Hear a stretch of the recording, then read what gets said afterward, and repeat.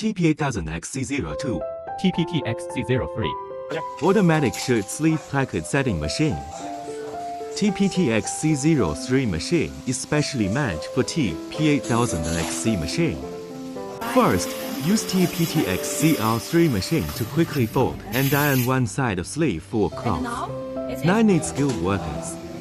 Then, with the machine TP8000XC02 to finish sleeve placket setting. The whole process is very quickly and easily. The working efficiency is 4 to 5 PCs per minute, and one machine can sew left and right sleeves, no need to change more. The stitches are very beautiful and accurate.